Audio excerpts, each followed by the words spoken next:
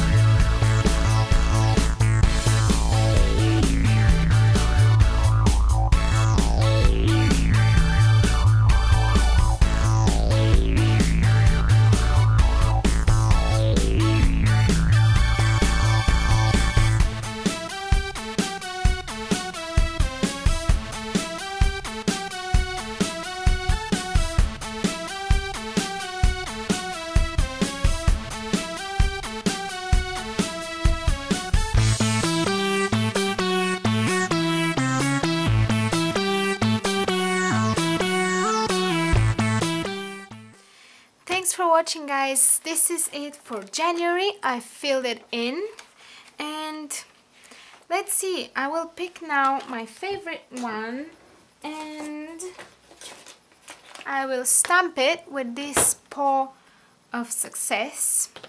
I will tell you which are not my favorite ones as well. I didn't quite like the hands. The hands weren't very nice. Like this, this page is really, really good. I think it's filled with color. So I didn't like this skirt. That's why I've written ugly skirt here. Because it just didn't turn out properly. And this Idea Spark wasn't very good because it said scratch and I scratched with like a knife and you can see here that I've scratched quite like quite strongly but still you can't really see it and it just looks like a scribble. So I'm not going to make that as one of my favorites because it actually isn't. It's horrible. Right. So um, let me start. I really like this one. This one if you don't know is a quote from Overwatch and it's quote from Junkrat who is my favorite character and I have a strange obsession with him. So I will stamp it here like this. Aww. It's really cute, isn't it? Actually like this one as well, but I will not stamp it twice. And then I really like these, all these, so I'll just stamp it here. Eh. There we go stamp this one and this. I really like this. This was really therapeutic to do. Hopefully you enjoyed watching it because I did enjoy doing it. Ooh. But yeah I, I'll try to stamp it but I'll ruin my thing if I stamp it here. So I'll stamp it right here. There we go. Yeah, and there's one here. That's quite nice. And yeah these are not my favorite but yeah I'll probably not write anything in the notes. I'll let you know. But yeah thanks for watching. If you enjoyed this video please comment and subscribe. And the next one of this series will be on the 1st of March. Look forward to it. Bye